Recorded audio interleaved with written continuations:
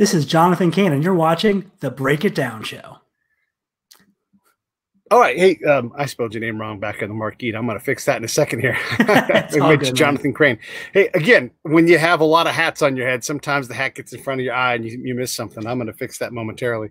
But uh, Jonathan, thanks for coming on the show, man. I, I uh, it's always great. The network is strong, and when you reach out and you say, "Hey, I'm looking for people to book," I look be I love being able to promote different messages that. Um, you know that need promoting you know causes and whatnot tell us a little bit about Living Teal and what you guys are trying to do, and then we'll go from there. Sure. So Living Teal is the lifestyle umbrella uh, underneath FARE, which is Food Allergy Research and Education, which is the world's largest uh, NGO in the food allergy space. And FARE's mission is to uh, improve the life and health of Americans living with food allergies and providing hope. And, you know, we're the voice of the patient, right? And Living Teal, again, is the lifestyle arm if you think about food allergy, which impacts 85 million Americans, so one in four, just about, um, food is it's so central to everything we do. Most people eat three times a day. Uh, we eat at school. We eat at holidays. Um, so it becomes kind of a lifestyle thing. So for all of the uh, research that we do, education, advocacy things, people just live with it. Again, it's 85 million Americans. So what we wanted to do was give them an outlet through Living Teal uh, with recipes and holiday tips and you know how to manage this without it being a defining thing. Yeah, boy, the holidays perfect time to have this show because how many people had to have the gluten-free stuffing or all these different things that you know and as we get better at medicine we find out there's more of these things and they exacerbate one another it's it's what a great mission to do that why did this even need to be done in the first place? If so many people have food allergies, there's got to be so much information out there. What what hole do you guys fill? You know, it's so interesting you should say that. So I, I joined uh, FARE last uh, this past June, and I was aware of food allergies. I mean, it's hard to live in society without being aware of it, but the numbers are staggering. Again, 85 million impacted, 32 that live with life threatening food allergies. So, again, they have a peanut or some milk or some soy. They can go to the ER, and someone goes to the ER every three minutes with an anaphylactic reaction. Um, my guess is that it's not front of mind for most people because most people with food allergies learn to live with it. They don't want to be a burden. I'm sure in their immediate circles or bubbles, their their family and friends know about it, and you just sort of live with it. It's kind of like uh, terrible analogy, but seatbelts. You know, when it mm-hmm. was the thing, like no one talks about seatbelts, but they save lives, and that's sort of what FARE's here to do is to remind people like we need to treat this seriously because without us, without the education, um, it's easy to fall back into habit of, you know, one bite won't hurt you when one bite could very much hurt you. Yeah, or even for some allergies, like nut allergies in particular, the wrong kind of oil, the I mean, just opening a bag of peanuts on an airplane can be life threatening for some people. absolutely, and, and it is. Or going to a baseball stadium, which hopefully we can all do again this coming spring. Um, but yeah, it's one of those things that I think because it's so ubiquitous that no one's talking about it. And the reason that I'm here specifically, why Living Teals here, is to shine a light. You know, we want to make this thing that is everywhere famous um, so that people talk about it, respect it. Um, there's obviously a bullying crisis with kids, um, but this is not a kid disease. You know, uh, food allergy impacts young, old, uh, black, white, male, female, gay, straight. It doesn't know uh, a demographic. Um, adult onset food allergies are real as well, and they don't really get talked about at all. And those mm. are crazy scary. Um, the stories that I've heard since joining, you know, people be out having shrimp for the third time in a month, and then two hours later they're in an ER because the reaction could be two hours onset. Couldn't happen yeah. in minutes, but it can happen hours later. So, you know, we're we're trying to uh, we don't want to make it scary. It shouldn't be scary. We want to you know leave the fear at home but keep the responsibility and how again how we can celebrate and it's little things like um you know we talk about the holidays thanksgiving just happened yesterday christmas is coming up potlucks are a big thing, right? People come to their friend's house or families and they bring their stuffing or whatever.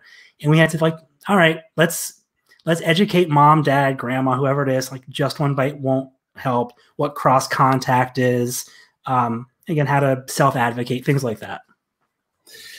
To be honest, you know, and we all learn these things. I think this is what Gen X delivers to all of us: is we start off with the position, and then we go, you know what, like back when I was a kid, being gay, you could say, you know, faggot. You can say all kinds of words to people. I mean, the N word wasn't the N word. It was actually, you know, a derogatory thing people shouted at each other. And then the Gen X folks like me became along. We're like, hey, we can do better than that. Um, you know, just like with people who have mental disabilities, you know, it's not only have we embraced them and put them on TV as a community, we've also said, you can have jobs. Like there's jobs that people with a variety of disabilities can do. That's all happened in these last like last 30 years. And so I say all that because I'm completely part of this transition of ick, I don't like that, I don't know it, to hey, whatever, man. I'm I'm awesome. You're awesome. We're all awesome together. So this food allergy thing at my core, right? My initial animal response is, is I don't give a damn if you're allergic to peanuts or not, you know, or sesame oil or what what's that got to do with me? I'm just throwing a party. And that rejection, the only way I know how to fix that is through like socializing these things and saying, hey, you know, this is really, I carry an EpiPen in case somebody misses something because I can't miss. I mean, that's, I don't have to carry an EpiPen anywhere, you know? So talk Absolutely. a little bit about that. Well, you know, it's funny, you know, you mentioned mental health, and I think that that whole no stigma movement, uh, early 2000s, was huge to recognize that again, you know, and I don't know the, the statistics with depression, but it's pretty again uh, ubiquitous. And with food allergies, there is a stigma that we need to eliminate from society because you shouldn't be embarrassed to say out loud to your waiter or waitress, um, "Is this cooked in peanut oil? Is you know was this marinade on this barbecue made with soy or sesame?" And obviously, the owner of that restaurant is incentivized to make sure you don't get sick you as the customer are incentivized. But again, that like I don't want to raise trouble. I don't want to be that guy. I don't want them to spit in my food or whatever it is. We need to eliminate that completely. And I'll tell you a uh, terrible but real story, which is one of my very good friends has lived with a shellfish allergy, and I didn't know it. We've been out to eat a hundred times, and when I got this job, he was like, "Oh, that's you know interesting. I've got a, a shellfish allergy." I was like, "How did I not know?" He's like, "I don't want it to. I don't want to. I don't want people looking at me different."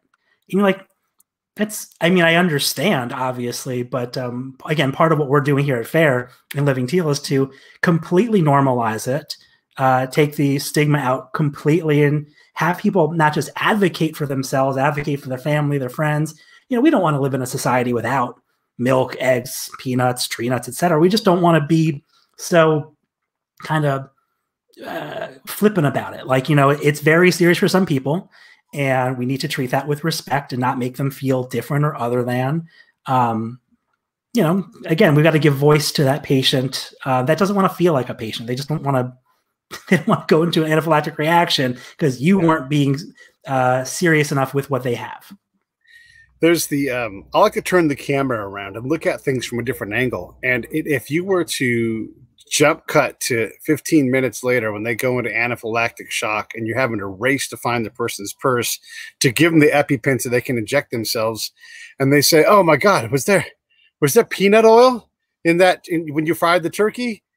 Like, yeah, why didn't you tell me? I would have used any other kind of oil. Like, just tell me, you know, like you would say that, but you might not say that before. Realize, yeah, I'm cooking the turkey. Just say thanks. You know, like your attitude can change if you see someone in desperate, you know, physical crisis. It's uh, when you think about it in that way, and then also you, you think about like folks who come out to their parents and they're terrified to do it, and then the parent is like, "I, I love you." I, first off, I already knew, you know, or whatever, and and but that jump is so hard for the person doing it. Same thing with allergies. Like, I just don't want to be a bother. I was on this ridiculous eating program for a while. And uh, I'm like, uh, can I get an omelet? Can I only get one yolk in it? Because today is one yolk day. And the waitress is great about it. She's like, I don't feel bad about it. It's fine. We're all on some kind of eating program, you know.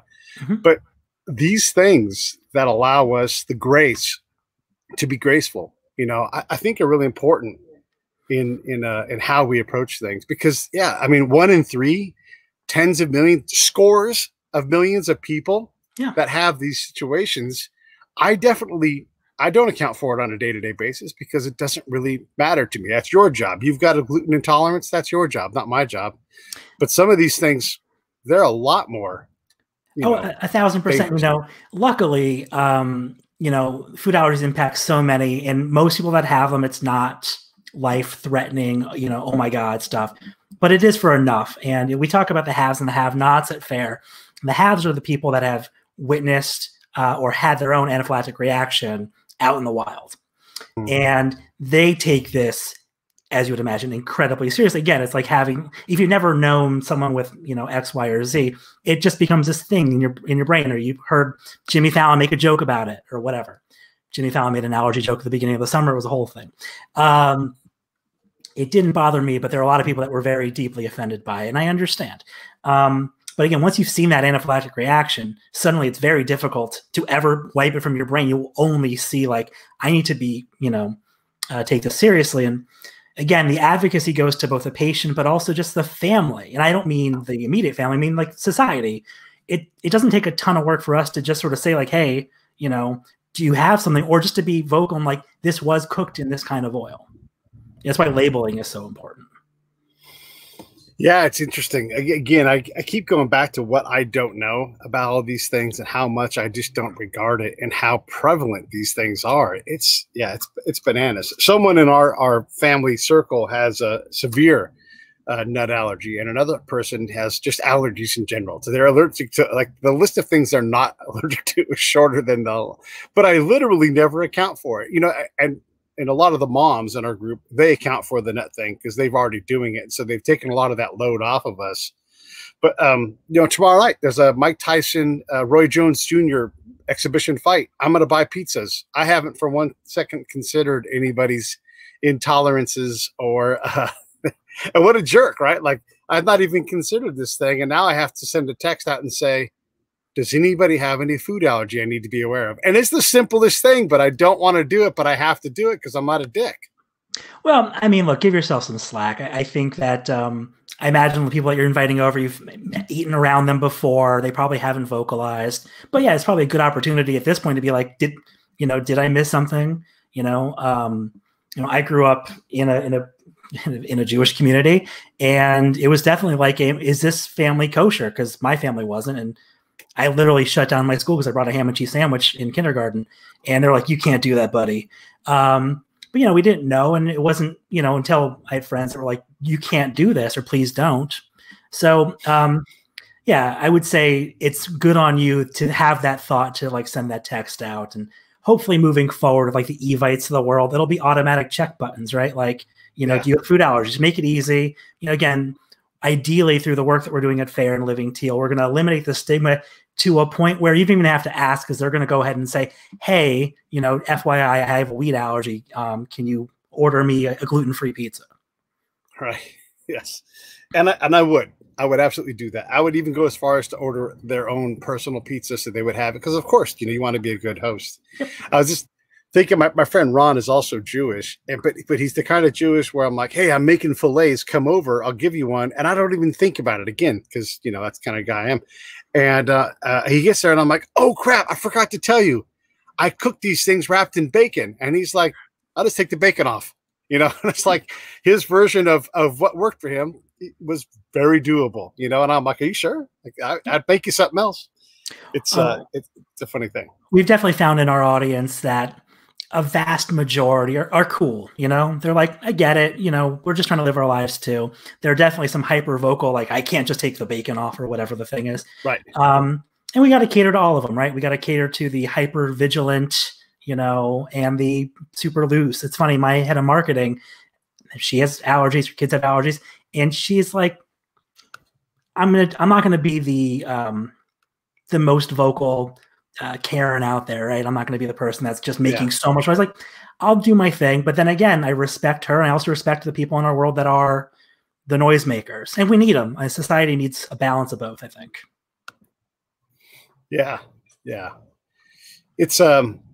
I'm glad that you're doing this work. Let's talk a little bit about your aspect of this work because your background is incredible, and uh, obviously they picked the right person for the job. But talk a little bit about your experience and then why this makes you you know particularly qualified to create this awareness and this uh, normalcy of accepting the food allergy thing and driving people to FARE. by the way everybody look on the page if you're on the live side and take a look at the bottom on the streamer down there. And also, you can go to their YouTube page, which is F A A N P A L on YouTube, and you can get there. Um, talk a little bit about your background, if you would, Jonathan, because it's sure. uh, it's impressive. Uh, well, I appreciate that. And uh, who knew, who ever would have guessed I would land, land at uh, foodallergy.org. Yeah. Um, I spent 22 years making television. You know, I started my career in 1998 at MTV. Uh, still have my MTV News Cube in the background. I keep it in every Zoom shot. Um, yeah, I, I, did documentaries and game shows and dating shows and shows that I didn't tell my own parents I was making because it was embarrassing because it was bottom of the barrel stuff. Um, but then I moved through my career through Fremantle, who do American Idol, Got Talent, Family Feud, Prices Right, Let's Make a Deal. Um, sold a bunch of shows there. Um, was a showrunner at, at Discovery Networks, working on, you know, all sorts of things. Um, the BBC. I always forget about the BBC. And what what's interesting is storytelling is storytelling, and connecting uh, humans to humans is is an important part of media, right? And the training that I had in the field for years as going back to when I was a PA, all the way up to a showrunner and the development exec, was telling emotionally pulling stories. Even if it was a hmm. game show, you're still watching a human on a, on a ride, right? Um, as I, actually, I, when I teach TV, still, I tell my students um, every story, scripted, unscripted, short form, long form, podcast. You're taking someone on a journey. There's going to be an obstacle for your character. You've got to have them relatable. They've got to make choices so that you can be vicariously along the ride as an audience member. Um, but that emotional connection, I think, is what I learned so specifically making TV shows. And so when FARE came along, they're like, we need to reach 85 million Americans that have this, that are impacted by food allergies. Um, but we got to do it in a way that's not scientific. You know, you can't connect to people by talking facts. You can't connect to people with statistics and just say every three minutes or, you know, 85 million. So how do you get them to care? How do you get them to activate? Well, there's a couple of levers you can pull, right? You can pull the scary lever, which is not my tactic by any means. I'd much rather pull the we're all humans, let's have a big hug together and embrace each other and celebrate life. Yeah. Um, so that was my goal was to put a face on on food allergies and not just your Steve Carell's and Bill Hader's and Kelly Clarkson's, all three of which have food allergies. Um, they're not going to, you know, spend too much time connecting. But like, what about the real moms, the real kids? Um, I just shot an amazing my food allergy story, which is one of our series on Living Teal channel, which you can go to at livingtealchannel.com. Um, and it was it's amazing 11 uh, year old girl out of Wisconsin who had her first anaphylactic reaction at nine months and has turned her life, her young life, into advocacy because uh, she literally had people throwing she's dairy allergy throwing cheese at her in school. And you think about that, this like sweet, cute little blonde girl getting cheese thrown at her. You're like, how do I? All right, your face, you tell your story. I'm sure that there's another little girl out there, or a mom, or a dad, or a grandma that's going to feel emotionally pulled and then activate on it. And what does that activation look like? Well, it could be you're going to donate $10 to this food allergy nonprofit because our money goes right into research to end suffering food allergies. Or maybe you're just going to be a little bit more sensitive when you're at a restaurant or when a, one of your kids' friends comes over and they can't have something and you knew that and you made sure they had popsicles that they can eat um, one of our, our good friends is Shannon Miller, the, the gymnast from the 90s. And she's one of our, our faces. She does not have food allergies, but her son's best friend does. And she was telling me like the first time he came over, the kids were all having, you know, a movie night and popcorn and popsicles. And she didn't think about it. The popsicles had dairy in them. So the next time she was, you know, for sure to have some non-dairy, you know, dessert treats as well. And then the kid felt more welcome. It just, it was a beautiful snowball effect that is frankly so easy to do once you crack the door open. These heartfelt stories i mean I, am a big believer in this and, and, people on the show already probably know what i'm about to say but um, i worked a lot in combat zones and if you measure effect you'll lose but if you can create an affect if you can get that response to stimuli, yeah, you got a chance to tell your story and get people to pay attention to it. You, like I said, you could say we, we've put out, you know, like the standard government, like we have a pamphlet, like yeah, but no one's picking it up and reading it. You can have a million pamphlets, but if you get one person to identify with what happens on an airplane, you know, um, right before the pandemic really kicked off, and you could still kind of fly without a mask. Um, someone and I we, we flew together somewhere, and this person had maybe a light seizure and passed out. It was terrifying, and I felt utterly hopeless. Luckily, no harm, no foul. Everything worked out just fine. Didn't have anything have to happen. But man, I mean, just that experience alone, it's like you just never know when something is going to happen. You know. Absolutely. That's, you know, again, part of our, our mission, uh, A, is to give voice to the patient, but just if we can educate people in a compelling way, um, you know, I can tell you from my time at Discovery specifically that, you know, getting information across was super important. And it could be, you know, how many CCs in this engine or whatever it was. Um, but if we could do it in an entertaining way, you didn't feel like school, you know, and Discovery was masterful. Uh, and they still are. I don't, I'm no longer there. They're still masterful at educating without ever feeling like class. And mm. I think that's really, you know, key. Again, if I can just get you, you know, trigger those mirror neurons. Oh, you look like me. You sound like me. Oh, that's an interesting story. Suddenly, it becomes real easy to convert you into someone that, again, just cares. We're not asking much from our audience other than to just just care a little bit, pay attention a little bit. And uh, again, it's not it's not rocket science. I mean, don't tell our scientists that because they think it's rocket science. Um, the ones that are doing the real Lord's work of trying to end food allergy. But from my side, in the awareness side of things, like I can you just get people to care a little bit and not mm. be afraid to speak out. Um, yeah, it's not not not so much. Again, it's it's funny you bring up being in the combat zones. That's that's real real stuff right there. We're we're talking about restaurants and supermarkets here. Yeah, but just as dangerous. I mean, you know, you go into anaphylactic shock, you're going to need some attention real fast, either self help or first aid of some kind. You know, I mean, it's it's no joke, you know. I believe that's funny. Not funny at all, but um, I recently did a, a, pilot at Fort Irwin, and I was shocked to learn how many civilians live on base in the middle of the Mojave Desert, and how you know they had I think it was two thousand pets on base. We were doing a show about the veterinarians, and I was thinking like, I wonder if they have access to you know hypo not hypoallergic but allergy friendly foods. Um, do they have gluten free flours there? Because there must be people on base maybe not the enlisted but the spouses the kids and they, they, statistically they're there. And i remember when i was shooting on base thinking you know well there's the px and there was you know a, a popeyes chicken but like are there options for the food yeah. allergy family and i don't know that there were so it's a smaller mission of mine but i do want uh, to make sure that all of my military brothers and sisters are, are always safe with access to clean food. You know, there's a, a, funny thing. The military is so diverse and so accommodating to that diversity, but but it is a big bureaucracy, right? And so you, um, they're absolutely, and I don't have to know specifically. I just know how these things work. There's absolutely meals for a variety of of um, I don't know addendums. I guess you would call them, right? I'm Jewish. I'm orthodox, I'm I'm I'm I'm I'm all these things, including food allergies, you know, and you may have less options, but it's like, hey, we're gonna go to the field. You would go to your first sergeant and say, First Sergeant, I have the following uh, allergies, or may, hopefully your NCO would do it, but it's really your responsibility. I need to make sure that there's a box of, of MREs for me to eat. And then the first sergeant's going to look at you like you're crazy, you know, and then ask you to prove it. you know, some first sergeants would, not being unfair to first sergeants.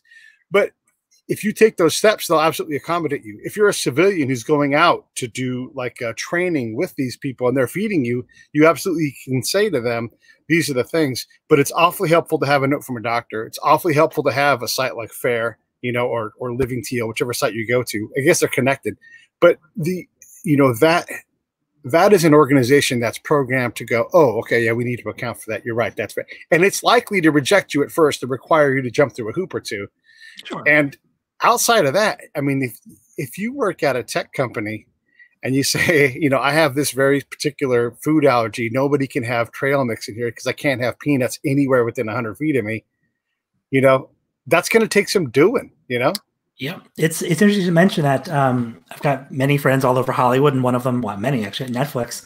And in their lobby, there's a, a snack room, and it's yeah awesome, honestly.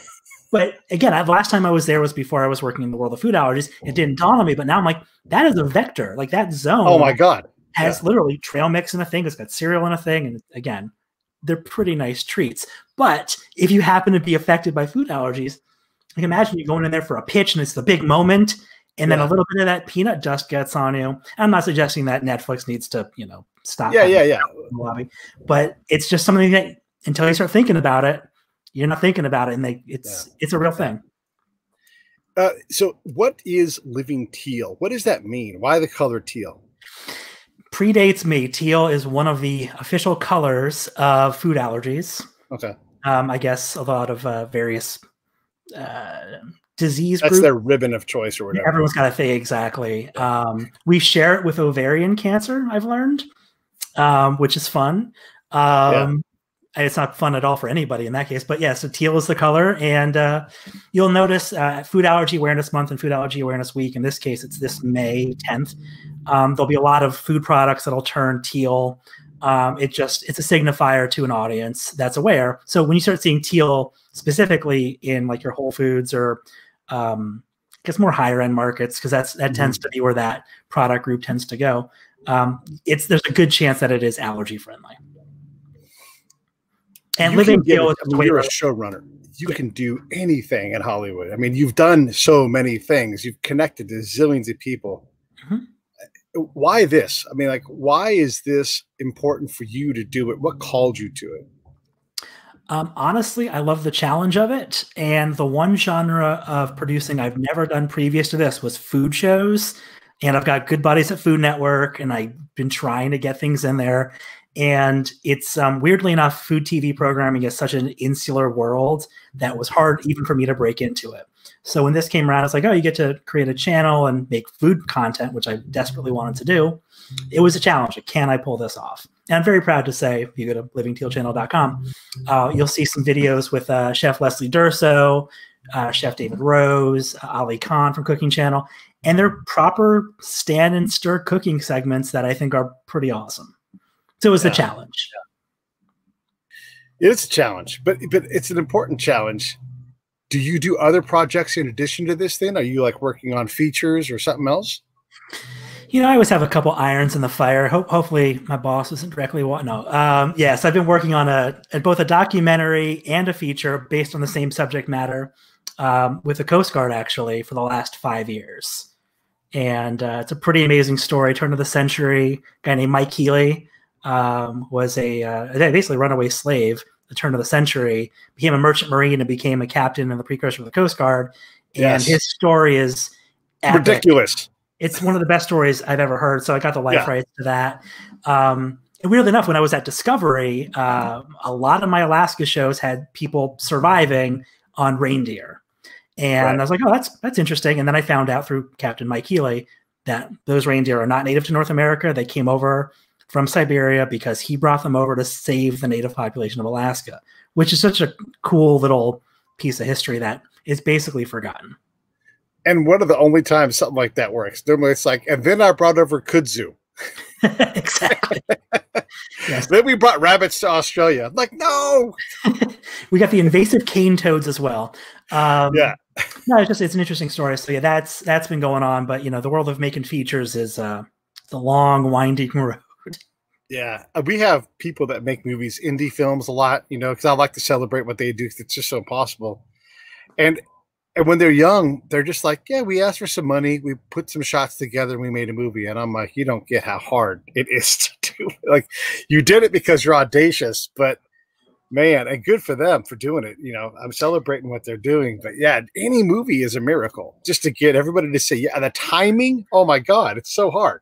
I mean, considering any movie of any merit has 15 different production partners at some level, to get them to give up ownership or editorial control even a little bit, it's yeah, it's um, it's a it's a miracle that anything ever gets made. I will I will say that. But I also love the idea of the audacity of youth. I sold my first show at 22 um, because Yeah. I didn't know that you needed an agent and yada yada yada. I literally just walked into an office. I mean, it happened to be at Viacom, so I could walk into that office. I'm like, "Can we do this show?" And they're like, "Yeah, we can do that show." It's amazing. I actually sold the first two shows I ever pitched, and then I didn't sell another show for the next seven years. Um, it turns out it's really difficult, and I just got really lucky twice yeah. um, yeah. but yes, it is uh it's a long and winding road. One of these days, I'll get this. I'll get my movie and the documentary on the side of it made as well.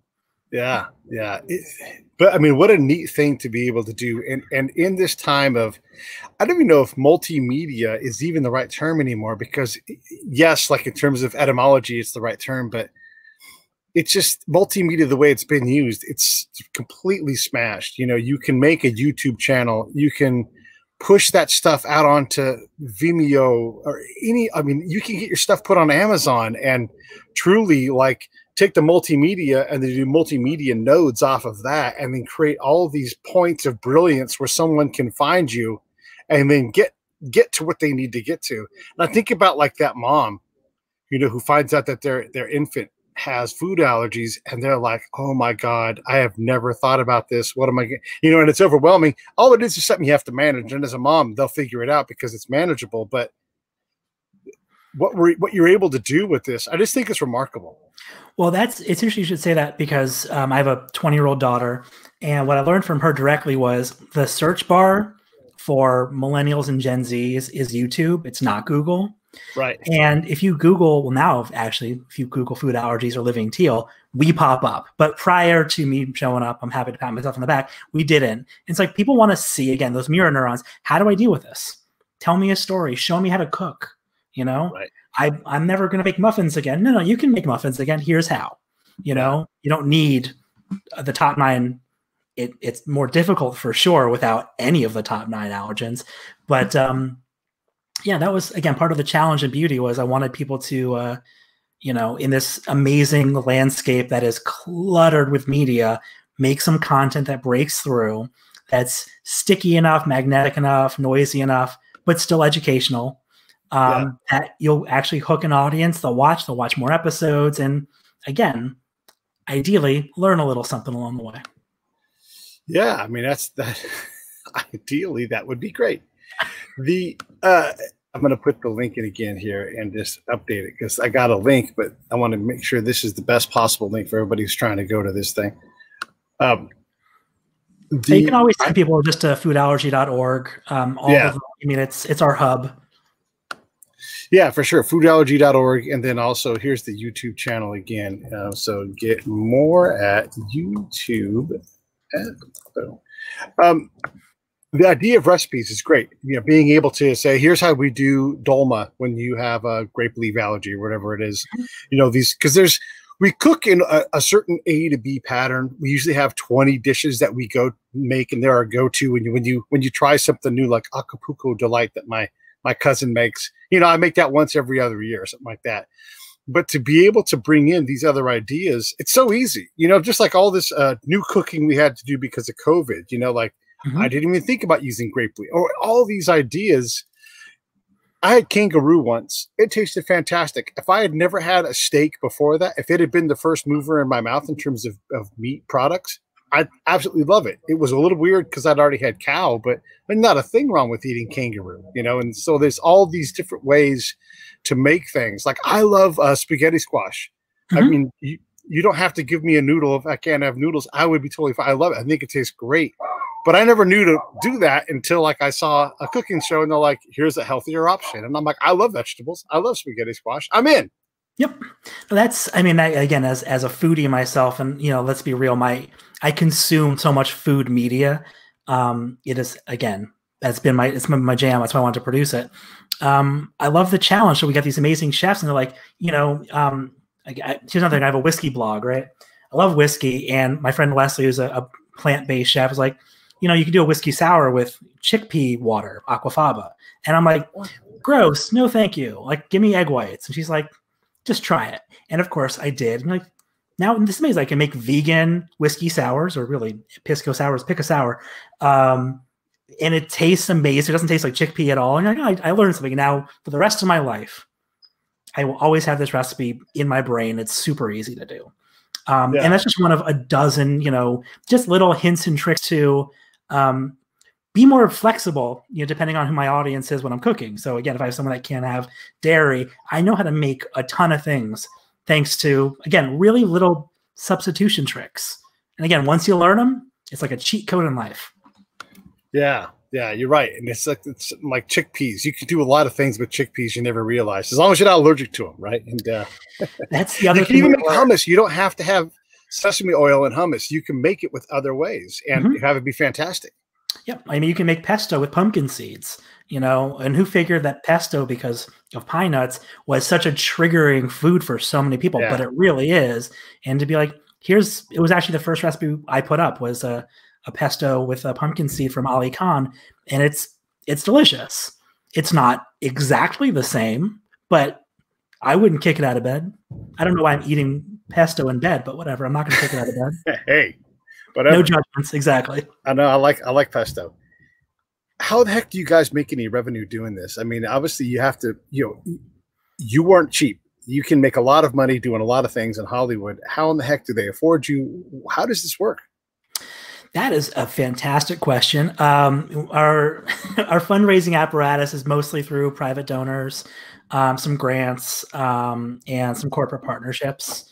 Um, but you know, as a as a nonprofit, as an NGO, it's you know X percentage of every dollar goes to research. I don't know the exact number. It's certainly more than goes into my pocket. Uh, I, I, can't tell you, I've, I've, seen our annual budget, and what I do is the smallest fraction. You know, yeah. Um, so they're doing something right. Yeah, and, and unfortunately, galas are really hard to do and fundraising dinners and stuff. But I imagine there's some of that that happens with this can you talk? Do you have any knowledge at all about the progress that's being made on a given food allergy or in general? Is, is oh, that something sure. you're aware of? I mean, uh, not in any super specifics because I'm not a scientist, but um, you know, we've got uh, 50 clinical network partners that are doing research all around the country, Stanford, Northwestern, other places.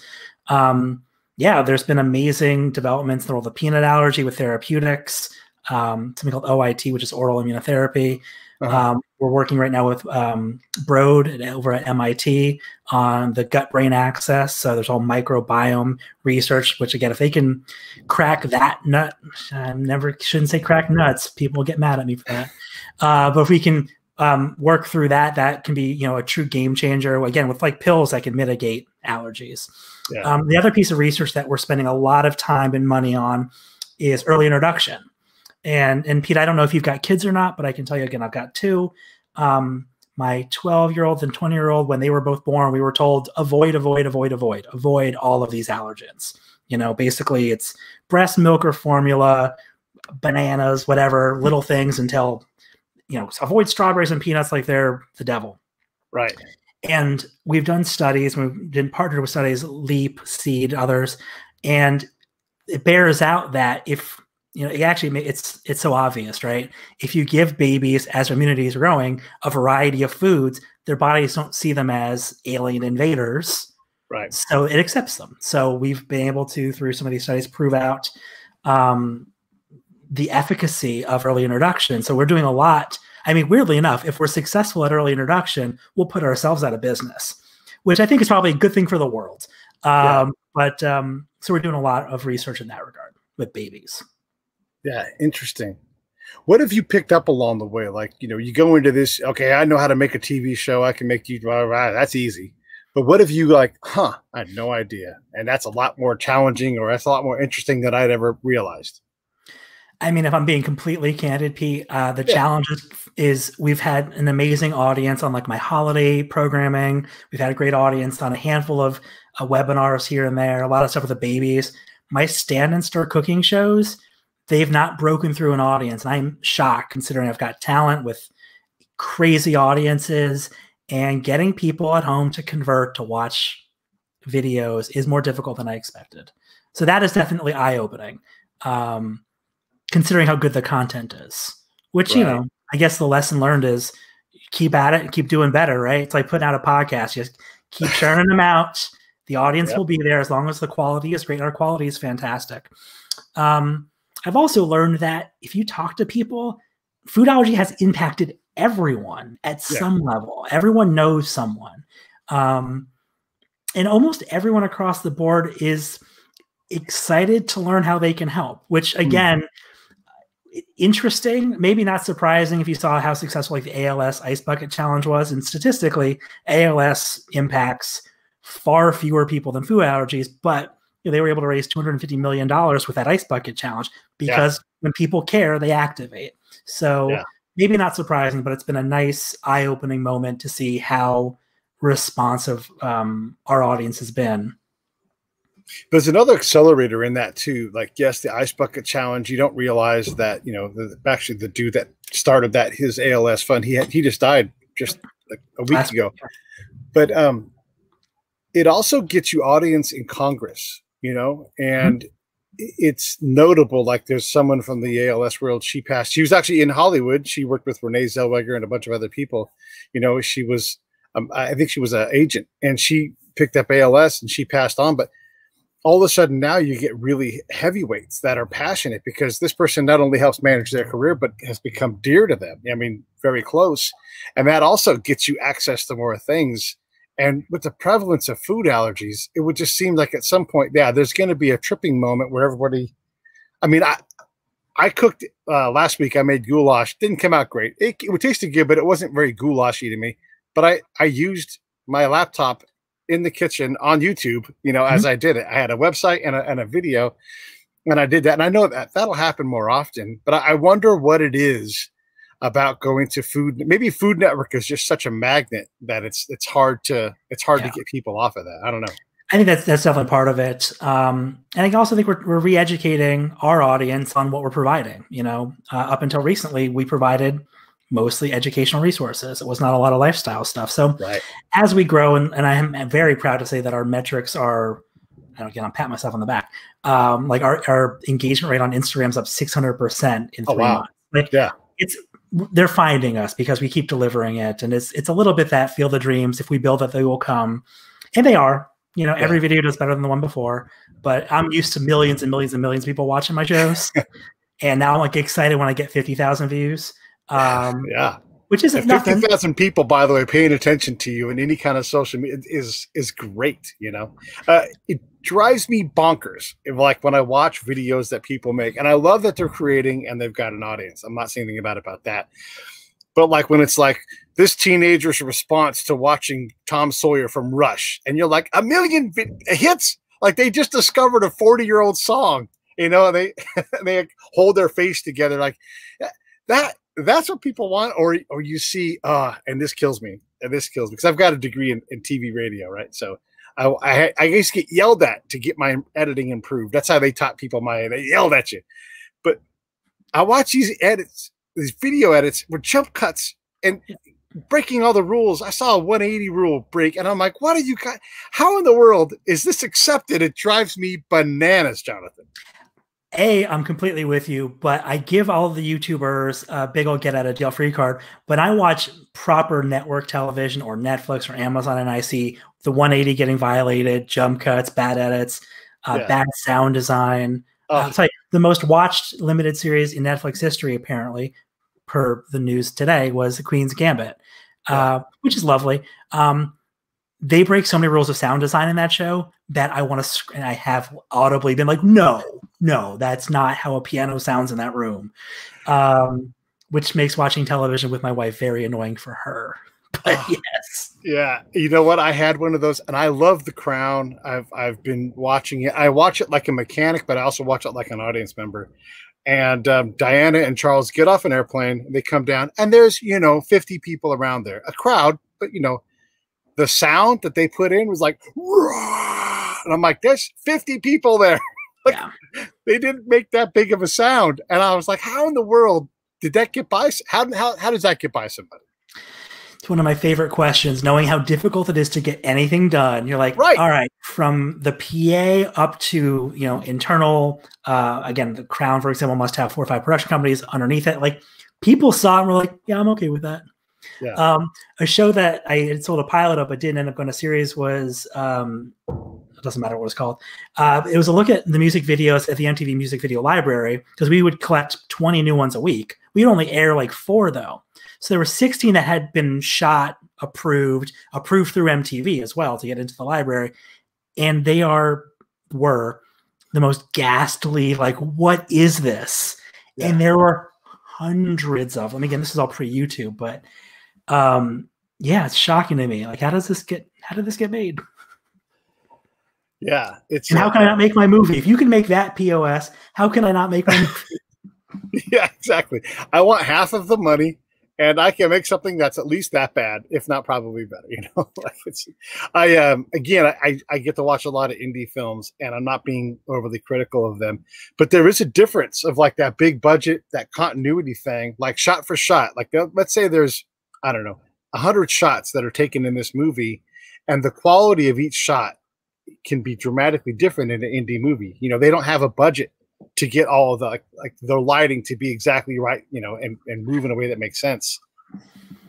So ah, uh, anyhow.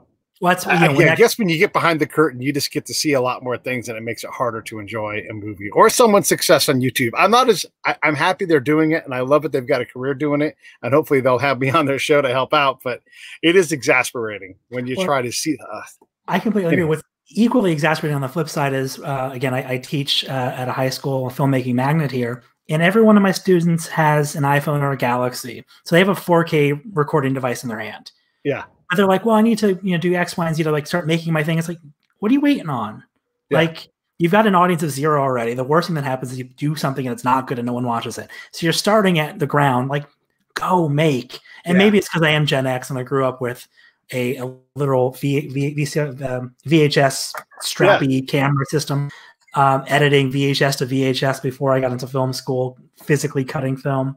Like making TV and movies was really hard when I was coming up. And it's so easy for people today. Like, like just go do it. Yeah. Just do it. Like the um the Chyron machine and what we were stuck with you know, mm-hmm. no, no, I, I programmed some purple. You didn't program anything. You just pushed a button. It was already in there. And you only get purple. You only get blue. You're like, like no. so I've done so many Grass Valley edits where I had to have every piece of B-roll picked and time coded and well in advance and giant bins uh-huh. of tapes. And actually my garage still has four bins of tapes from my career. And yeah. I don't think I'll see I'll see a three quarter machine again in my life. Okay. Uh, it's yeah. there. I I, uh, I did all my stuff, you know, on uh, depending whatever kind of tape I could get, whatever kind of camera I could get. You know, a lot of VHS, but some other kinds of tape, like three quarter, all that kind of thing. But um, yeah, you're right. You, you, pour your heart and soul into this, and then you go into the edit bay, and you must you must be able to feel this pain. You go to edit, you set your edit points, and because it's a mechanical mechanical machine, it slides, and you're like, no, no, no, and so you set it with the slide accounted for, and it doesn't slide, and you're like, oh, sweet Jesus, this is gonna kill me. I mean, I'll tell you some name. I remember interviewing Whitney Houston on a red carpet Vanity Fair Oscar party many years back, and she rolled up. She was an unexpected guest, and we hit record and started the interview. But you need like six seconds of pre-roll so that it can get to speed for your edit. So yes. we missed the beginning of the bite, um, which was like the "Why are you here?" I can't. Doesn't matter what it was, but like, oh yeah, the things that kids today don't need to worry about. Yeah, yeah, yeah, yeah. It's great. It, but it, but it does open up the ability to create a lot of things and, and have people on. Are there any kind of strategic thoughts on you know having? I guess I would say something like you know having a main character have a significant food allergy, you know, and have that not be part of the story, but not not part of the story. Like, oh shit, this burrito has beans in it, you know. I'm going to be down the next eight hours. Is that something that you think you see in the future? Is that something you guys are interested in trying to implement? I mean, I hope so. I mean, the last time a main character had an allergy was we're talking about Peter Rabbit, the, the Sony movie, which caused a fervor because there was a food fight scene, and the whole idea was let's you know use food allergies as a weapon. So I would love to see a main character with an allergy where it's not seen as um, a, a, stig- a, stigma, a weapon, uh, or yeah. a punchline, um, right. where it's just something else to do. Now the problem is, of course, if you are a good main character, good charismatic protagonist, and you just need to not have, you know, peanuts or whatever. Does it become like a James Bond thing where you're like, shaken not stir? That's my thing. It's a one line in a movie, and then I move on with it. Like, you know, I can't eat that because yeah. you can't. I mean, if they're doing it right and they're a hero, you're not going to hear about it too often. But uh, I am working on an animated short uh, with some buddies of mine from Nickelodeon that worked on Little Bill with me way back in the day. Uh, we got pitched a short film from a student at University of Miami who grew up with severe food allergies and you know sat at that no nut table in school, and she herself was a little black girl. She's now a, a young black woman, feeling completely alone and different. You're like, all right, I love this sort of. Again, it's just a short one-off, but it's yeah. a story of acceptance told personally. Um, yeah, that's my goal to do more, you know, protagonist stories, and again, to just take the stigma away. Again, I, you know, see, I went down the wrong road, and I was thinking about um, a couple of things, but specifically in Parasite. I don't know if you saw Parasite the movie, but they shave peach fuzz and they they blow it onto the person who's got the peach allergy, and yep. you know use it as a way to, to undermine their their livelihood and everything. I mean, The Boy season two. I mean, ma- major spoiler alert. So if you haven't watched The Boy season two, turn off this podcast. Um, you know, they use almond joy as a weapon because one of the you know superheroes has a, an almond allergy. Yeah. And you know, it ends with him in an ICU. Spoiler alert again. Um, yeah. Other spoiler: season two wasn't very good. Deal with it. um, but again, now you're talking about the sort of the dark side of food allergy, which you know I would love to find a you know character's about to eat something and then a friend is like no because like it's a good moment, not a negative moment. But yeah, we'll get there. One, one, I thought of another uh, editing thing or storyline thing that really bugs me, and it made me basically I don't like J.J. Abrams films because of it. I hold it against him to this day. so, I know his films are good. I'm trying to get over it, but it was so egregious. I was like, "That's it, done. Never watching anything he does." And so it was in the it was in Alias towards the end. I don't know if you saw Alias, but there was this um giant water balloon type thing, huge, enormous water balloon. It's like in this hangar, mm-hmm. and uh, it breaks and so the water just comes flooding out. And then um, the alias chick, right? She's running down and she gets down the hallway ahead of her boyfriend. And she has to have to do the moment at the window. And the water comes flooding in and it drowns him. This balloon was smaller than the room it was in. How on earth did it flood all these? Like they could have had him electrocuted or something but sure. they chose to have him drown because there was so much water. And I'm like, there's just not enough water to do that. Yeah, there would have been a mess throughout the warehouse and the factory or whatever, but there was never going to drown anybody unless they passed out in a you know it was just Pete, I'm, I'm very sorry to hear that a TV show from I don't know 15 years ago it yeah. still bothers you to this day. It does. It bugs me. All right. So enough about that. Let's just let's plug everything and wrap this thing up. Tell everybody where they can go to get all the stuff about Living Teal. Sure. So there's two main websites to go to. Uh, the main one is www.foodallergy.org, which is your one-stop hub for all things food allergies. We've got resources there, uh, emergency action plans, um, community reach out, all that sort of stuff. The other place to go if you just want the sort of lifestyle content is www.livingtealchannel.com, um, which is actually just a friendly URL that drives you right back to foodallergy.org. Um, but it's where where all of our uh, shows are. In fact, we dropped a new episode today of Teal Holidays with Heather, which is the right. best episode yet. I recommend it. It's a lot of fun. Um, Christmas tips done with a little John Oliver style. Yeah, no, I, I, love it. Yeah, and I watched it. And I mean, I was going to tell you, you did a good job, but you know that. I mean, it was it was a quality thing, and and you would never. It's, it's dumb to even say this. You would never know you weren't watching like a network thing because you guys do network great things. It's just now you get to watch it in this very specific things. Uh, if nobody else tells you and the crew today, thanks for what you're doing because it's going to save a life. It's going to make living those lives easier. And you know, it's such a minor thing that we can all account for. And and it's fun to cook in a new way. It's fun to cook a you know a recipe for somebody like, hey, I made this. I know you have this allergy, and no one's even going to care except for I made it for you special. And just to have that as a gift that you can give to someone else, I think that's marvelous, man. Thank you for doing that. Thank you for taking all that time to to to make this cause matter because it does. Thank you. I, I, a I appreciate that, and b I think it's a beautiful idea for the holidays. Specifically, if you know someone that can't eat X, Y, or Z, make them something special because nothing will make you feel more whole than than that feeling giving someone a delicious piece of nutritious whatever uh, yeah. cake or something savory so i'm all that's a great idea we might we might take that pete and put that on social media as I love idea. it. Yeah, do it. Uh, it's a great gift to give somebody. All right. So www.foodallergy.org. Everybody look in the show notes. I'll have all that stuff in here. Uh, uh, Jonathan Cane, thank you so much for coming on. Stand by. I'm going to sign off.